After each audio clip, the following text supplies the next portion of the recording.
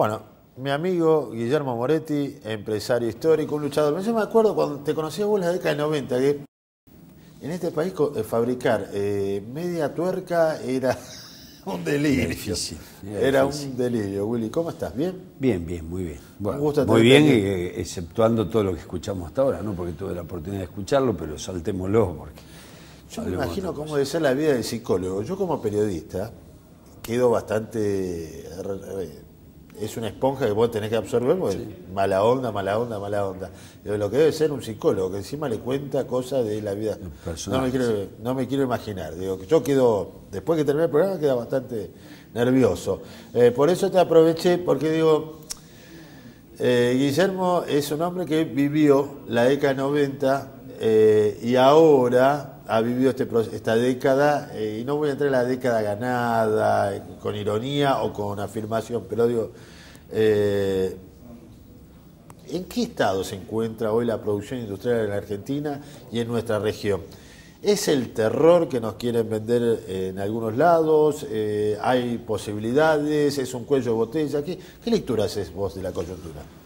No, a ver, siempre uno cuando habla en función de comparaciones. Si nosotros hablamos con respecto a la década del 90, estamos en el mejor de los mundos hoy, y si hablamos con respecto al 2012, eh, tenemos una caída pronunciada de, de la actividad industrial. Pero fundamentalmente hay una caída, pero fundamentalmente se ve que en el ánimo de la gente eh, el ánimo está muy, muy, muy por abajo. Y el- cuando el ánimo está muy, muy, muy por abajo son la profecía autocumplida, ¿no es cierto? Se, retrae eh, completamente la inversión y cuando se retrae la inversión eso nos provoca falta de producto, falta de gente que compre, falta de todo y se va a caer eh, fuertemente la actividad industrial.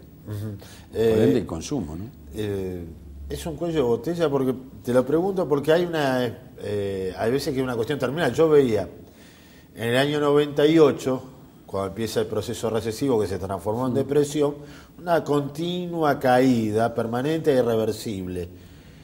Eh, ¿Vos ves esta misma situación? No, hay dos componentes que son fundamentales a, a diferencia. Bueno, eh, que a partir de los años 90, cuando nos mintieron tanto todos estos economistas que aparecen ahora nuevamente en televisión, ¿no es cierto? ¿Qué sé yo? José Luis Esper, Artana, López Murphy, Broda, toda esa cadena de economistas que responden al establishment, no responden a la gente, a la gente, perdón, porque también escuché el término, no responden a la mayoría de los ciudadanos que trabajamos y estamos, sino responden más a un concepto eh, financiero, eh, yo me tuve que poner a, a estudiar economía. Eh, si nosotros vemos atrás y nos vamos al 2001, cuando nosotros debíamos el 130 o el 140 de su Producto Bruto en moneda eh, dura, como se le llama al dólar, en este caso, y hoy debemos el 17% de nuestro Producto Bruto, te digo que no hay posibilidad de que pase nada, de nada, de nada. Nada, de nada, de nada. Ahora vos escuchás y vos escuchás que parece que nos estamos matando. Sí hemos tenido un problema gravísimo que nos generó Moreno, en el, en el proceso de sustitución de importaciones hemos perdido divisas. Esto en el año 70 Marcelo Diaman lo explicaba perfectamente, cómo se llegaba a un cuello de botella, porque cuando vos empezás una sustitución de importaciones tenés que importar más para empezar a fabricar. Y hemos perdido mucha divisa. Yo creo que con Moreno hemos perdido muchísima divisa en autos de lujo, perdemos divisa en, en el tema de Tierra del Fuego, está en discusión qué es lo que está bien y qué es lo que está mal, perdemos divisa en la industria automotriz fuertemente, que eso no lo dice nadie, porque la publicidad la pone en la industria automotriz, pero con un déficit de 7.000, 8.000 millones de dólares, y perdemos divisa en el tema energético, que es donde la gente más pone eh, el énfasis y donde yo más lo defiendo. ¿Mm? Claro. Porque cuando eh, crecimos al doble del Producto Bruto Industrial en 10 años, quiero saber cómo hacer para tener el doble de energía. Pero aparte de eso, cómo hacer con la cantidad de casas que tienen gas, con la cantidad de casas que han podido comprar estufa, con la cantidad de casas que han podido comprar aire acondicionado. Si apostamos a, la política de consumo, ¿eh? indiscutiblemente íbamos a tener esto. Bueno, es, es- eso que lo estamos heredando, hoy, hoy lo estamos sintiendo. Y yo creo que se puede eh, acomodar. No se va a acomodar fácilmente, no se va a hacer muy rápido, nada, pero bueno, veremos. Si a eso le agregamos los hold down y los buitres que tenemos internamente, que parece que fuera eh, el, eh, de la Argentina, debíamos en el año 2001 184 mil millones de dólares. Nunca salimos del default, nunca salimos del default. Y llegamos al 2014 y debemos 1.300 millones de dólares según un juez y estamos todos locos, la verdad que sinceramente eh, no entiendo qué es lo que pasa. No, no eh. estoy hablando de la soberbia y nada. Me gustaría discutir con algunos de los que dicen que saben estos temas. Son juegos de poder, ¿no? Efectivamente. Eh, ¿Por qué los empresarios argentinos no tienen el espíritu que por ahí uno puede apreciar en Brasil? El, Brasil, el empresariado brasileño es bárbaro pero no vas a encontrar neoliberalismo, entre comillas, ni te van a traer un economista que te diga que tiene que cerrar la fábrica. Y acá vos, empresario de Rosario, te traen esos empresarios Totalmente, los totalmente. Colegas míos confundidos que lo traen a Melconian para que le den una charla. Es, es, una cosa increíble. Bueno, Brasil tampoco es la panacea, como se dice, ¿no? bajo ningún concepto, yo conozco a Fiespe de San Pablo, conozco las cosas. Ahí, ahí, acá en Argentina primero nos mostraban el modelo chileno, sacaron el modelo chileno cuando vieron que los chilenos tienen más, muchísimo más problemas que nosotros, pero mucho más profundo, ¿no? el tema de educación. Después nos vienen con el problema brasileño. Cuando empiezan los conflictos en Brasil, que ahora nos saltan con, nos van a saltar con otro modelo para cambiar, ¿no? Perú. No, yo te, apuntaba la ideología del empresario, ¿eh? no, no, que otra Perú, Perú, ahora Perú sería el modelo, una cosa increíble. ¿Qué fabrica Perú? El, el empresario brasileño es más claro que nosotros, pero bueno, Brasil no tuvo una dictadura como la que tuvimos nosotros, donde Martínez de Oz generó lo que generó en tanto tiempo y se hizo esa cultura del individualismo, el sabe ese quien puede y hay que pensar de que todo lo que venía de afuera era mejor, acordémonos la publicidad que sigue con la silla y compañía, y esto nos marcó muchísimo. Igual Argentina siempre miró mucho más a Europa que lo que miró Brasil.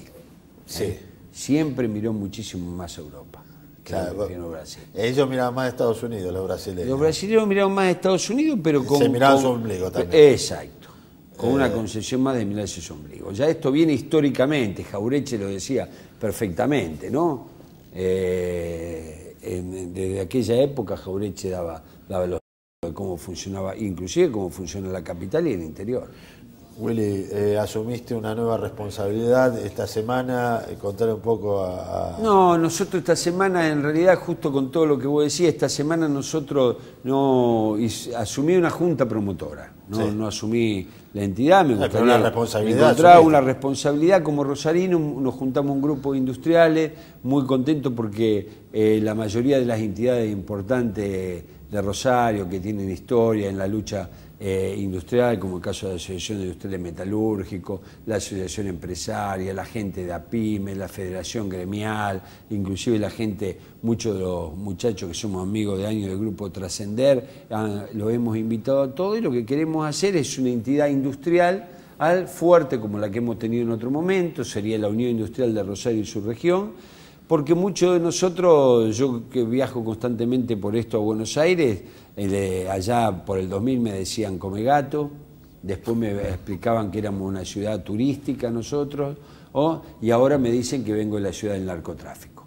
Y la verdad que nosotros con, con números hemos demostrado que tenemos un 75% de lo que son las ventas industriales de la provincia de Santa Fe, tenemos un 66% del Producto Bruto de la provincia de Santa Fe, pagamos más del 54% de los salarios eh, que se pagan industrialmente en Santa Fe y, Rosario y su región es netamente industrial. Y entonces queremos tratar de juntarnos los industriales y darle esa característica para que Rosario fue allá como en los años 60, que era un polo industrial más importante que el de San Pablo, que este vuelva a ser un polo industrial, por lo menos que vean lo que en realidad hacemos. ¿Cuesta predicar en Rosario por los temas que nosotros hablamos hace Cuesta, cuesta, cuesta mucho, cuesta mucho. La verdad que desde el punto de vista industrial cuesta mucho.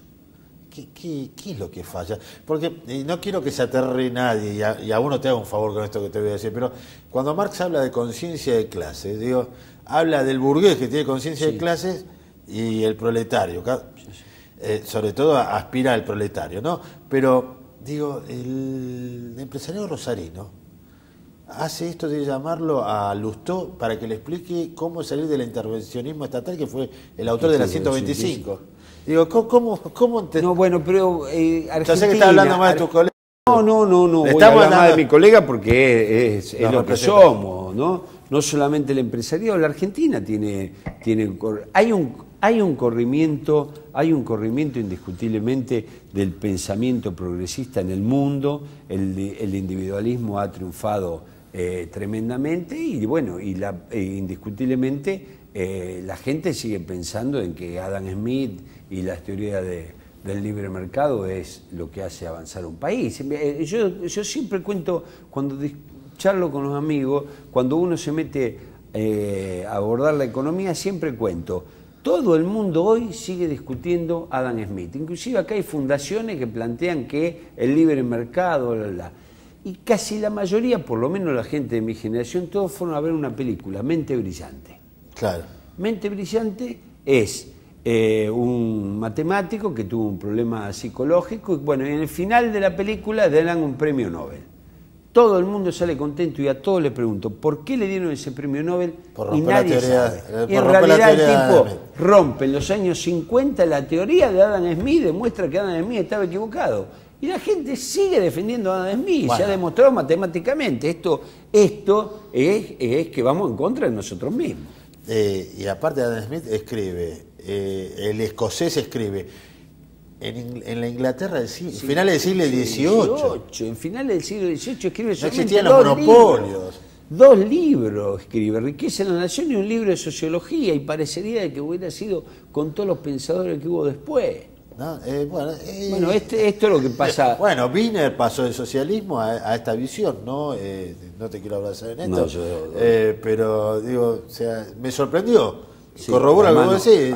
creo que él también se haber sorprendido en lo que dijo, porque yo sé que Hermes no piensa de esa manera, pero la mano invisible del mercado que no existe eso. No, a ver, porque si vos mirás el LEM, el Laboratorio de Especialidades Medicinales, que es el Estado interviniendo en un mercado bárbaramente lo que espectacular. la, ciudad de Rosario y la, municipalidad de Rosario que haya la permanencia del banco municipal en bajo la esfera del Estado marca una, acción distinta. Por eso es sorprendente. Bueno dice gracias por venir. no al contrario gracias, por ilustrarnos. Eh, eh, no tenemos que cortar las venas en la bañera como algunos no tenemos seguir, el mundo no se acaba, ni se termina esto. Eh, los industriales siempre tenemos optimismo por naturaleza, así que esto se va a arreglar y vamos a seguir. Acuérdense lo que nos decían en el 2010, estábamos fuera del mundo, no podíamos seguir más, no íbamos a caer nada y, y tuvimos años espectaculares y van a volver.